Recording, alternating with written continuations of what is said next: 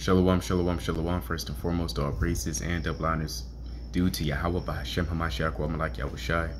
Secondly, this is Brother Yardan WFI Detroit coming back at you with yet another cold cut. Today in this cold cut, we will be reading the book of Job, this 27th chapter. Alright, now Job is a mighty, beautiful, powerful book through the spirit and power of Yahweh Hashem Yahushai because not only is this a conversation between Job and a few of his friends, but even in the midst of their conversation, a lot is revealed unto us. For an example, the judgment of the heathen, Israel being restored, right? Jacob's trouble, the kingdom. It goes into so much, even the hidden animals that we don't really know about, such as the Leviathan and the Behemoth. So, Job is a very, very beautiful book, chalked up with many dark sayings and parables that not everybody's going to understand. All right. Job is a book of mystery. Or is one of the books of wisdom. Now, Job was taking place um, during the times of the patriarchs. So, let's get the first precept. Psalms chapter 78, verse 1. Give ear, O my people, to my law, incline your ears to the words of my mouth. I will open my mouth in a parable, I will utter dark sayings of old. And that's what we do amongst each other. We may utter dark saying of old. Verse 3. We have heard and known, and our fathers have told us, right? A, on a carnal level, our, our elders have told us. Our grand, some of our grandparents told us um, you know, uh, some, well, I won't get into that, but I don't, I don't want to get too deep. But know that our grandparents told us, all right, in the ancient world, you understand?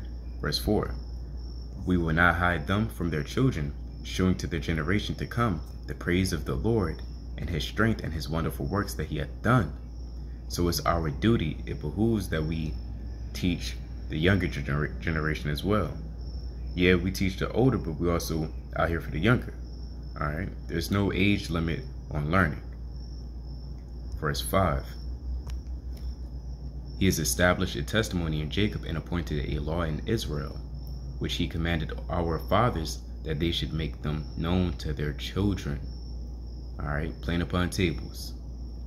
Verse 6 that the generations to come might know them, it's like might know them, even the children which should be born, who should arise and declare them to their children that they might set their hope in, in God and not forget the works of God, but keep his commandments. Beautiful. So without further ado, we're going to dive into the book of Job, the 27th chapter, and break it down through the spirit and power of Yahweh Shai. Job chapter 27, verse 1. Moreover, Job continued his parable and said, A God is like as God liveth, who hath taken away my judgment, and the Almighty who hath vexed my soul, all the while my breath is in me, and the Spirit of God is in my nostrils. My lips shall Salakia, my lips shall not speak wickedness, nor my tongue utter deceit. God forbid that I should justify you till I die. I will I will not remove my integrity from me. Alright, now it's about to dive into it. My righteousness I hold fast, and I will not let it go. My heart shall not reproach me, so as so long as I live. Let mine enemy be as the wicked, and he that riseth up against me as the unrighteous. Now I want to pause because this enemy is Esau, the heathen, the nations. And it doesn't have to say Esau, the Dukes of Edom, the Ishmaelites, the Hagarenes for you to know that it's speaking about the enemy and the, and the heathen and the unrighteous, we know it through the spirit and power of Yahweh Shemel Shai, because it's already been foresaid that he would be our enemy right from the very beginning, from the foundations of the earth. That's Malachi 104. He's the border of wickedness. Verse 8 For what is the hope of the hypocrite, though he hath gained when God taketh away his soul? Will God hear his cry when trouble cometh upon him? And when you read the Bible, you'll understand that the hypocrite is referring to Esau. He's the hip, hip, uh, hypocritical nation. All right. Verse 10. Let me see something. Uh, it's like in verse 9 again. Will God hear his cry when trouble cometh upon him? Right?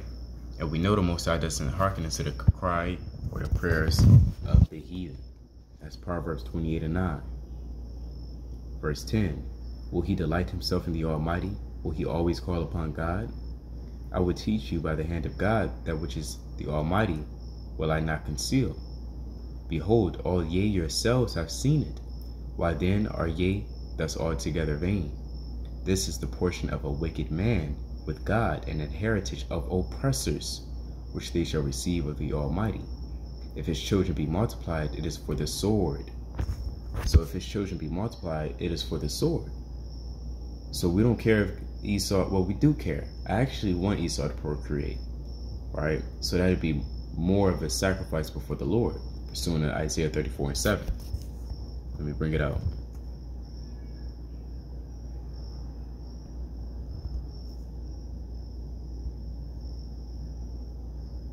Uh, it's like it's six. The sword of the Lord is filled with the blood. It is made fat with fatness, and with the blood of lambs and goats, with the fats of the kidneys of the rams. For the Lord hath a sacrifice in Bozrah, and a great slaughter in the land of Idumea. For those who don't know, the land of Idumea is the land of the uh, uh, of the so-called white man, right? Idumea. That's first of all, Slakia. Esau. He's Slakia, the so-called white man, is Esau in the Bible right? And he dwelt in the land of Idumea. So when it speaks about Idumea, it's ultimately referring to Esau, the Edomites. This is another precept. Revelation chapter 17, verse 14. These shall make war with the Lamb, and the Lamb shall overcome them. Right? The Lamb is Yahweh Shai. Alright? That's John 1 and 29. These shall make war with the Lamb, and the Lamb shall overcome them, for he is the Lord of lords and King of kings. They that are with him are called and chosen and faithful. So what I wanted. Oh, Slakia 19 and 11. Revelation 19 and 11. And I saw heaven opened, and behold, a white horse, and he that sat upon him was called faithful and true, and in righteousness he doth judge and make war. His eyes were as a flame of fire, and on his head were many crowns. And Yahushua wore many crowns because that represents him conquering each nation. When you conquer a nation, and you take the spoils thereof, you take their gold, their jewels, even their crowns. And he had a name written that no man knew but he himself.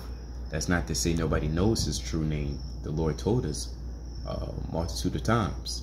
It's Yahweh Shai. That last clause that no man knew but he himself nobody truly understands the power and, and the vehemency how he's coming.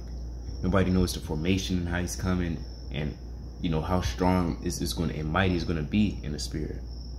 You understand? Verse uh, 13. And he was clothed with a vesture, or your clothing, your garment, your vesture, dipped in blood, and his name is called the Word of God. Right? So in this verse, it say he do it. It's like that he had a name written that no man knew, but he himself. So Israel, you would use that verse to say, well, nobody knows the name of the, of the Son of God. But in this verse, it say, and his name is called the Word of God. So you have to use your comprehension, third grade, you know, you know, English, and understand through the Spirit that, you know, it's not saying that nobody knows his name. So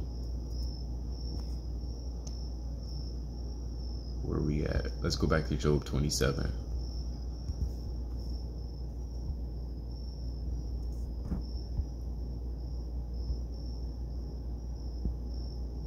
Verse 13. This is the portion of a wicked man with God, and the heritage of oppressors which they shall receive of the Almighty. If his children be multiplied, it is for the sword, and his offspring shall not be satisfied with bread. Let me get one more. Isaiah 14, 21. Prepare slaughter for his children for the iniquity of their fathers. So it's good that they reproduce because now it has more sacrifices. Right? So prepare slaughter for his children for the iniquity of their fathers, that they do not rise nor possess the land, nor fill the face of the world with cities. Back to uh, Job 27.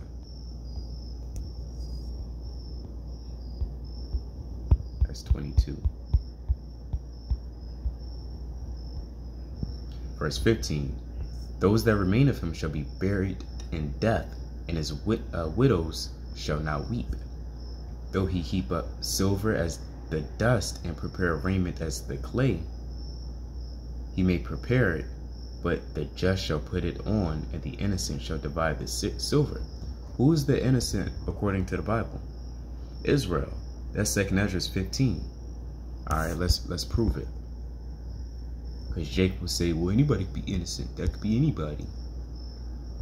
Let's get Second Ezra 15.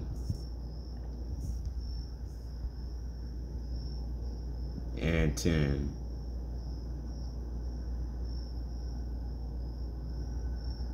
It's like at 9. It's like let's start at 8. I will hold my tongue no more as touching their wickedness, which they profanely commit, neither will I suffer them in those things in which they exercise themselves. It's like they wickedly exercise themselves. Behold, the innocent and righteous blood crieth unto me, who's killed innocently for walking down the street, getting some damn Skittles, uh, making a left turn. Who's murdered innocently? It's Israel. That's Yasharallah.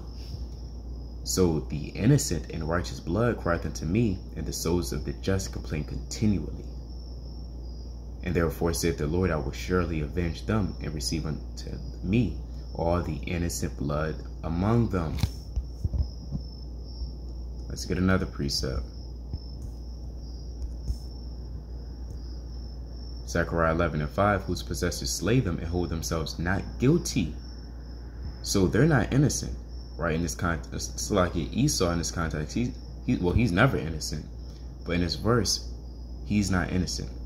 He's guilty. And they that sell them, blood, it's like, and they that say, it's like, and they that sell them say, Blessed be the Lord, I am rich, and their own shepherds pity them not. It's one more. Hmm. This is Sirach 35 and 13.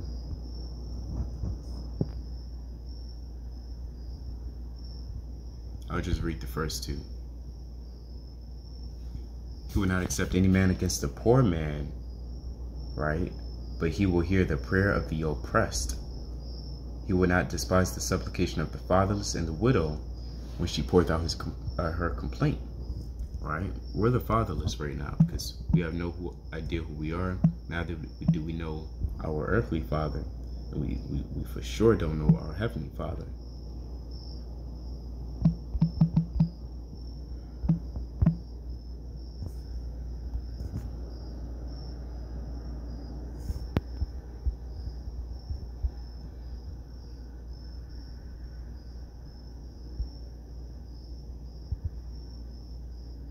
Psalms 94 and 21. They gathered themselves together against the soul of the righteous and condemned the innocent blood. See that? So let's go back to Job 27. Now we should properly understand that the innocent is who? Israel.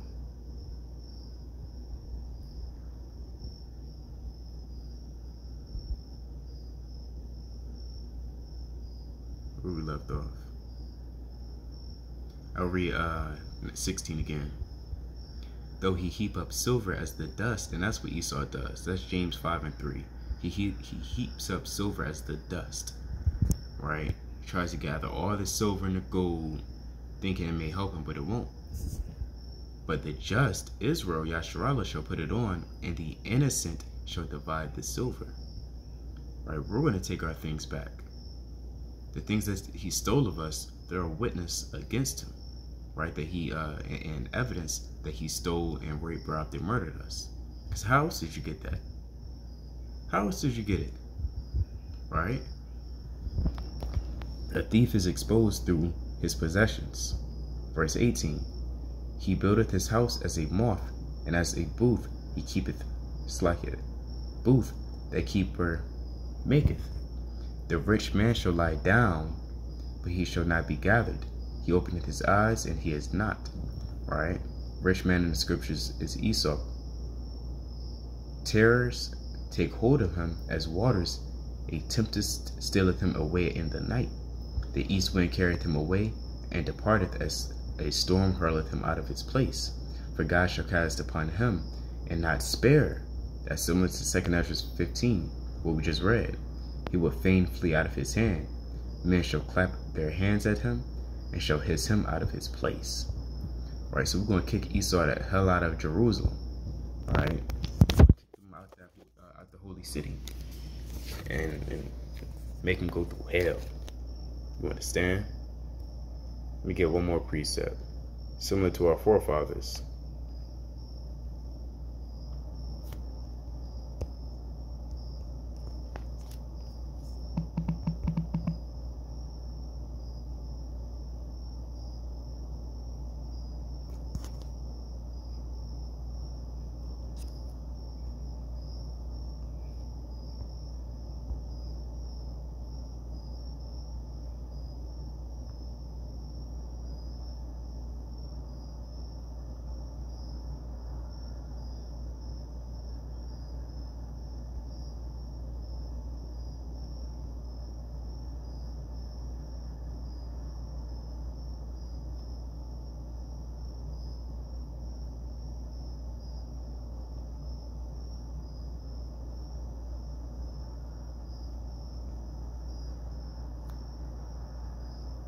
Oh, it's like it. That's not what I wanted.